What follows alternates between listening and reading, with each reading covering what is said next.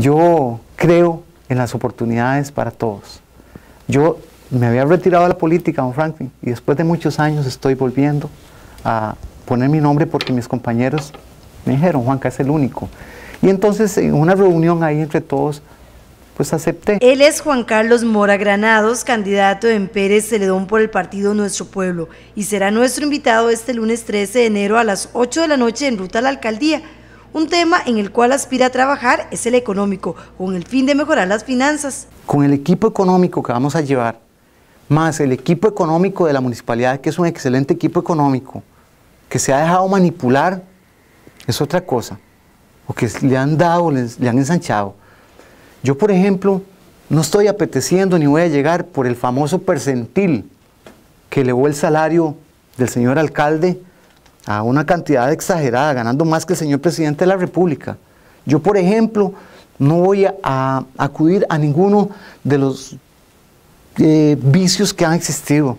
Yo no voy a tener eh, asesores de un salario multimillonario. Mora cuestionó el uso que se le da al complejo cultural. El mejor templo que hasta el momento se ha construido para la cultura, como ese complejo cultural, fue saqueado, fue quitado Ahí ya no hay nada de cultura, la biblioteca lo único que queda. Nosotros tenemos que devolverle al pueblo la cultura, tenemos que devolverle a la música su enseñanza, tenemos que devolverle al deporte. Nosotros llevamos un plan muy ambicioso para lo que es deporte. El deporte no es solamente fútbol, y si es fútbol, también en el fútbol está incluido las chicas, lo que es el fútbol femenino. Otro punto es el apoyo a la producción, destacando el tema del bambú. Que es la producción, industrialización y comercialización del bambú, con un mercado internacional que apenas está eh, naciente, está naciente.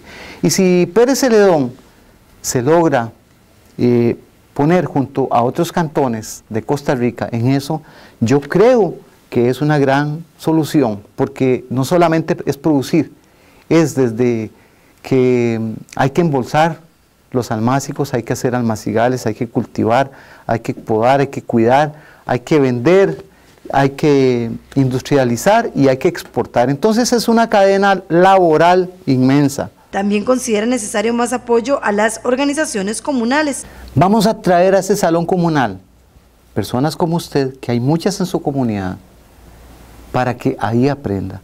Y por medio de convenios con ONGs, con organizaciones no, gubernamentales, por medio del INDER, por medio del IMAS, por medio de todas las instituciones que tienen que ver con el crecimiento humano, porque está establecido así en la ley de, Costa Rica.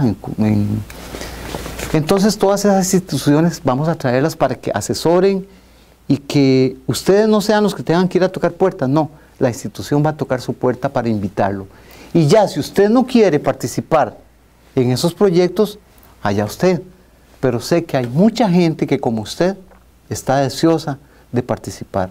El emprendedurismo es la puerta al desarrollo que nos va a hacer salir de muchas situaciones incómodas. Y entonces tenemos que llegar a ser emprendedores todos. Estas son parte de las propuestas del candidato del partido Nuestro Pueblo. Conozca más detalles de él este lunes a las 8 de la noche. También nos puede apreciar por www.tvsur.co.cr slash en vivo.